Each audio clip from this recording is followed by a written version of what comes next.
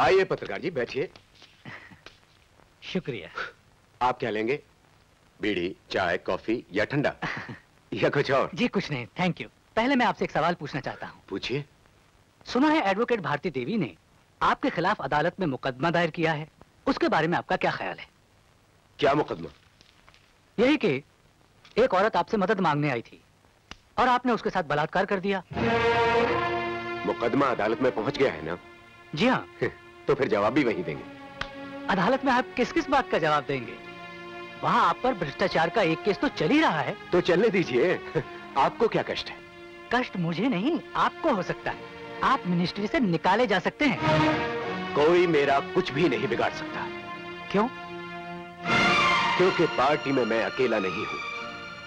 मेरे साथ दस मंत्री हैं। सब आया राम गया राम है। और दस लाख वोट है। अगर मुझे कुछ हो गया तो मैं पूरा मंत्रिमंडल ही उलट कर रख दूँगा। फिर देखता हूँ यहाँ की सरकार कौन चलाता है। सरकार कोई भी चलाए लेकिन आप जेल जाने की तैयारी कर लीजिए। क्या मतलब है तुम्हारा?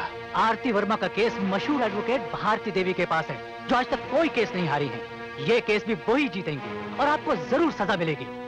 आपके पाप का घड़ा भर चुका है चरणदास जी अब आपको कोई नहीं बचा सकता।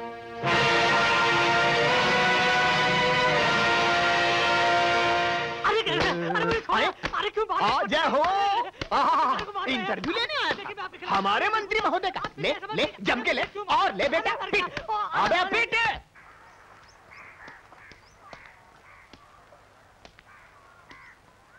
सुनो ऐसे लोगों के पास अगर आना है तो या तो कमीज उतार कर आओ या अगर हिम्मत हो तो साथ में पिस्तौल लेकर आओ।